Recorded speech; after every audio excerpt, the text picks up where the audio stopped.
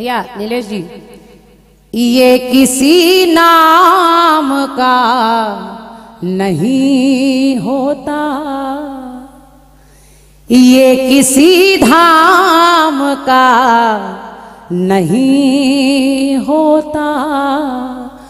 और प्यार में जब तलक नहीं टूटे प्यार तलक नहीं टूटे। तो दिल किसी काम का नहीं होता। ये दिल किसी काम का नहीं होता। खास तौर से कीर्तन जगत की अरे बस।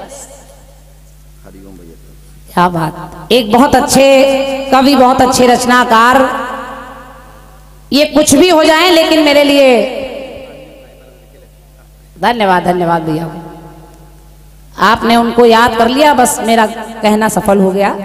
सतीश भैया को हमारे नमन है इस आशीर्वाद स्नेह के लिए।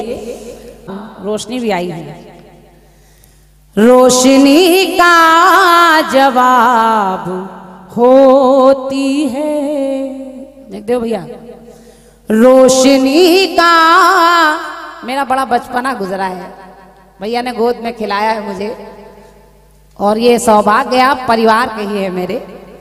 तो आपसे कुछ छुपाई नहीं हमारे ललित अंकल सब लोग ये सब नाक पोछते रहे मेरी गोद में लिटा लेते रहे तो रोशनी का जवाब होती है। और खुशबुओं की किताब होती है। पर तोड़ लेते हैं क्यों? हवस वाले। तोड़ लेते हैं क्यों? हवस वाले। जबकि बेटियाँ तो गुलाब होती हैं। ये लड़कियाँ तो गुलाब होती हैं। अरे, नारी कंकाल जा रही है नर कंकाल जी आ गए, एक बार तालियाँ। हमारे ललित अंकल जी की तरफ़ से भी ये एक, तेरी यादों को प्यार करती हूँ। मुकेश भैया कहाँ हैं? अरे आप हमारे पीछे पीछे नहीं रहो भाई। पीछे उन्हीं को रहने दो।